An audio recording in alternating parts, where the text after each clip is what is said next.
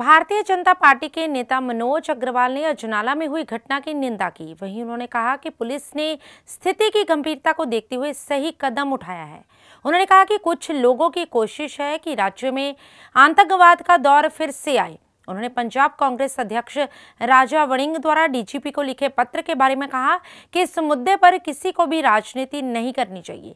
इसके साथ ही मुख्यमंत्री भगवंत मान द्वारा केंद्रीय गृह मंत्री अमित शाह से मुलाकात करने पर मनोज अग्रवाल ने कहा कि यह अच्छी बात है कि मुख्यमंत्री राज्य की चिंता को लेकर गए हैं।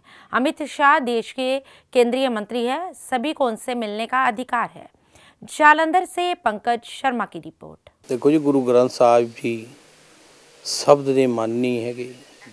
ਹਰ ਧਰਮ ਦੇ ਲੋਕੀ ਗੁਰੂ ਗ੍ਰੰਥ ਸਾਹਿਬ ਜੀ ਨੂੰ ਬਹੁਤ ਹੀ ਸ਼ਰਧਾ ਤੇ ਭਾਵਨਾ ਨਾਲ ਦੇਖਦੇ ਤੇ ਪੂਜਦੇ ਹੈਗੇ। ਇਦਾਂ ਦਾ ਕੋਈ ਮੇਰੇ ਹਿਸਾਬ ਨਾਲ ਪੰਜਾਬ ਦਾ ਵਾਸੀ ਨਹੀਂ ਹੋਊਗਾ, ਜਿਹੜਾ ਹਰਮੰਦਰ ਸਾਹਿਬ ਜਾ ਕੇ ਮੱਥਾ ਨਾ ਟੇਕਦਾ ਹੋਵੇ। ਤੇ ਗੁਰੂ ਗ੍ਰੰਥ ਸਾਹਿਬ ਦੇ ਅੱਗੇ ਤਾਂ ਹਰ ਕੋਈ ਨਤਮਸਤਕ ਹੋ ਜਾਂਦਾ ਹੈ।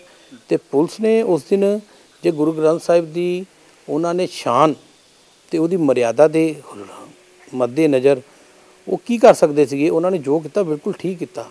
ਲੇਕਿਨ ਮੈਂ ਇਸ ਚੀਜ਼ ਤੋਂ ਹੈ ਕਿ ਇਹ ਨੌਬਤ ਆਣੀ ਨਹੀਂ ਚਾਹੀਦੀ ਸੀ ਕੀ ਗੱਲ ਹੈ? ਅਮਿਤ ਸ਼ਾਹ ਜੀ ਤਾਂ ਪੂਰੇ ਦੇਸ਼ ਦੇ ਗ੍ਰਹਿ ਮੰਤਰੀ ਹੈ।